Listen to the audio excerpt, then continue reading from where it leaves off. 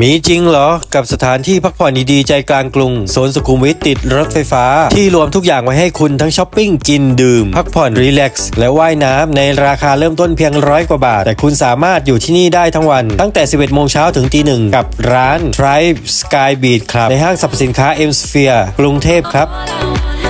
ห้างเอ็มสเฟียจุดนัดพบคนรุ่นใหม่ใจกลางกรุง ที่ตั้งอยู่แถวปากซอยสุขุมวิท 22 เปิดตั้งแต่ 10 โมงเช้าถึง 4 ทุ่มของทุกวัน การเดินทางที่สะดวกที่สุด โดยใช้รถไฟฟ้า BTS ลงสถานีพร้อมพงษ์เดินออกทางออกที่ 6 เป็นทางเชื่อมเข้าห้างได้เลยครับ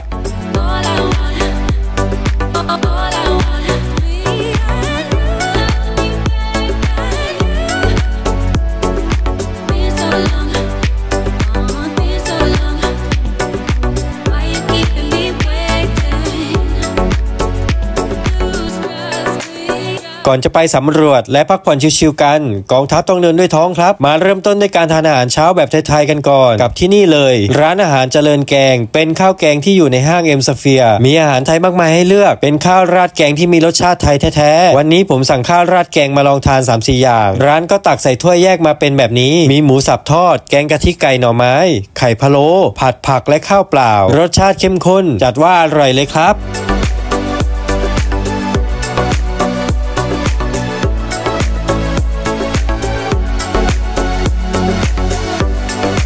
รสชาติอาหารเขาอร่อยเลยนะครับร้านนี้แต่ว่าราคาแอบสูงนิดหน่อยอาจจะเป็นเพราะว่าร้านอาหารอยู่ในห้างก็เป็นได้ ผมสั่งมา 2-3 อย่างทั้งหมด 180 กว่าบาทครับ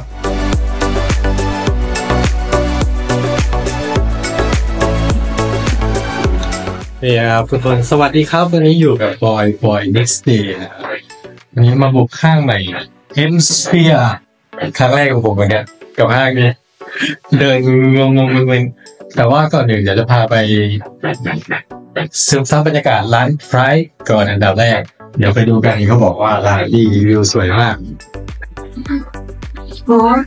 ใหญ่มาก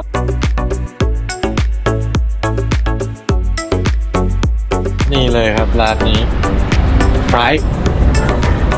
อ่านว่าไพรนะครับ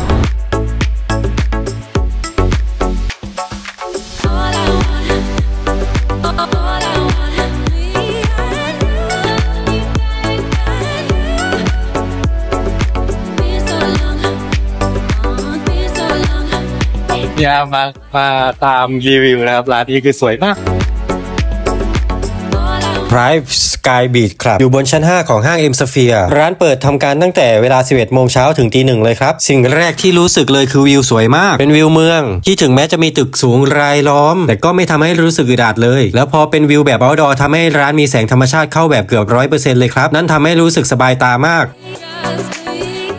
ภายในร้านจะมีหลายโซนที่ตกแต่งแตกต่างกันอย่างสิ้นเชิงนั่นทำให้ร้านนี้น่านั่งเข้าไปใหญ่ใครอยากได้วิวแบบไหนก็เลือกนั่งได้ตามใจชอบเลยครับแต่ละซุ้มก็จะเป็นที่นั่งแบบโซฟาทั้งหมดจะนั่งหรือนอนก็ได้สบายมาก ประโยคที่ว่านั่งชิลริมสระว่ายน้ำก็ไม่ไกลเกินจริงแล้วจ้า ส่วนเครื่องดื่มและอาหาร ราคาก็ไม่แพงเลยครับ ราคาปกติทั่วไปเลย เครื่องดื่มราคาเริ่มต้นไม่เกิน 5 ดอลลาร์เท่านั้น สามารถนั่งชิลอยู่ที่นี่ได้ทั้งวันเลย โซนนี้จะเป็นโซนไฮไลท์เลยก็ว่าได้ วิวคือจึ้งมาก ดีมากครับ นั่งจิบเครื่องดื่มพร้อมมองวิวไปด้วยฟินสุดๆ และที่สำคัญมีสระว่ายน้ำให้เล่นด้วยครับ สามารถลงไปว่ายได้เลย แค่เราเตรียมชุดว่ายน้ำมา บรรยากาศโคตรชิลเลย ร้าน Tribe อยู่ที่เอ็มสเฟียร์ชั้นห้านะครับ เป็นกึ่งบาร์ restaurant นะครับบรรยากาศตอนเย็นคือโคตรดีเลย เครื่องดื่มและอาหารก็ไม่ได้แพงนะราคาปกติเลย แต่มีแค่ service charge ที่มีเพิ่มขึ้นมานะครับโดยส่วนตัวชอบผนัง wall ของที่นี่มากครับ ภาพวาดแต่ละฝั่งตกแต่งได้อย่างเท่และมีเอกลักษณ์สุดๆ โดยเฉพาะอย่างยิ่งในห้องน้ำโอ้โหนี่คือบรรยากาศห้องน้ำนะสวยมากวอลข้างหลังสีสวย แผ่นแต่ห้องน้ำในขนาดนี้เลยอะสวยจริง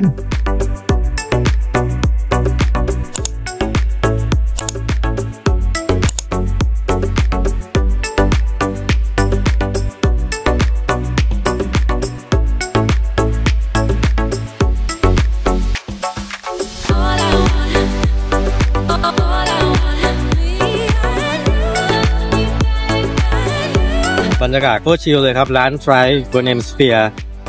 นี่คือการบุกห้างเอ็มสเฟียร์ครั้งแรกตั้งแต่เปิดมาประมาณเกือบเกือบปีแล้วอะขนาดรู้สึกว่าเหมือนเพิ่งเปิดไม่กี่วันเอง แต่ตอนนี้แบบเวลาผ่านไปไวมาก ก็ถือว่าเป็นห้างระดับที่ดีห้างหนึ่งคล้ายๆกับพวกเอ็มโพเรียมเอ็มควอเทียร์อยู่ในโซนเครือกันเนี้ยสวยแต่แต่ว่าที่นี่สวยเพราะว่ามันมีร้านที่เป็น rooftop เป็นบาร์ เป็นพูลอะไรอย่างเงี้ย หลาย ๆ ที่หลาย ๆ ร้านนะครับ เอออย่างเช่นที่ร้านขึ้นที่ขึ้นมาเนี่ยอยู่ชั้นห้าของเอ็มสเปียชื่อว่าร้านไรทรซึ่งถ้ามาในช่วงเวลาเดี๋ยวค่ำนี้ก็มีคนจองเต็มนะฮะถ้าไม่ได้จองถ้าไม่จองคือจะไม่ได้โต๊ะได้ดีแบบว่าหน้าสวิมมิ่งพูลแบบนี้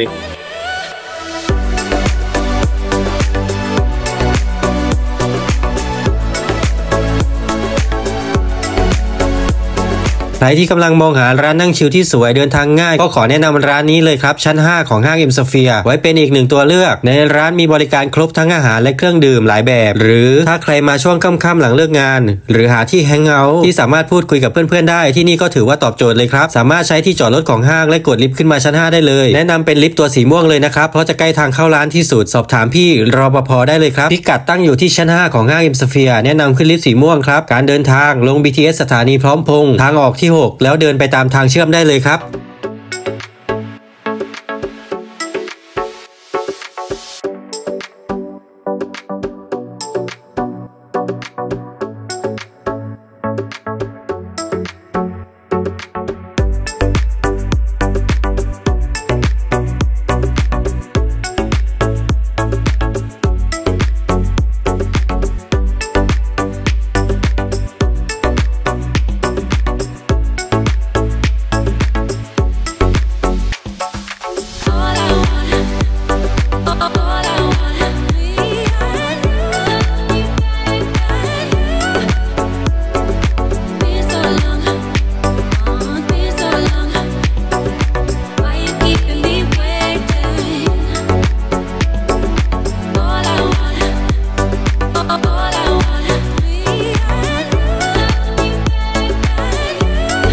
นี่นะครับในห้างมีร้านเยอะมากเลยอืมร้านก๋วยเตี๋ยวทองสมิธด้วยอร่อยมากเป็นร้านโปรดผมเลยโฟลิมิเต็ดนะครับร้านนี้ คือเป็นห้างที่ใหญ่พอสมควรร้านของกินเยอะมากตัวบรรยากาศแบบค่อนข้างก็คือคืนหน่อยอะ มันมีทั้งหมดประมาณหกชั้นนะครับไปทางเดินสวยมาก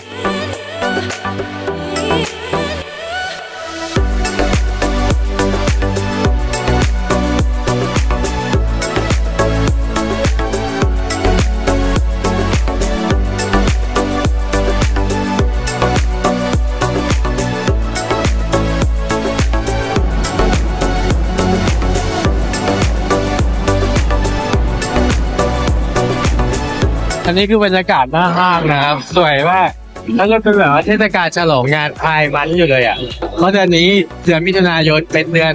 แห่งการเฉลิมฉลองงานพายทุกเดือนนะครับ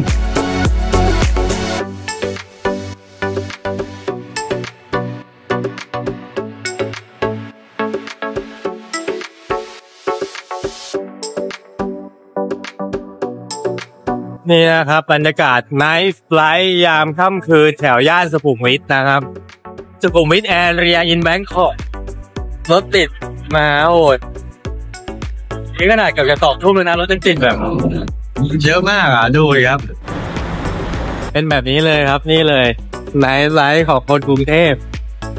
ชีวิตยามค่ำคืนวุ่นวายมากแต่นี่ครับต้นสุขุมวิท ตอนแรกว่าจะพาไป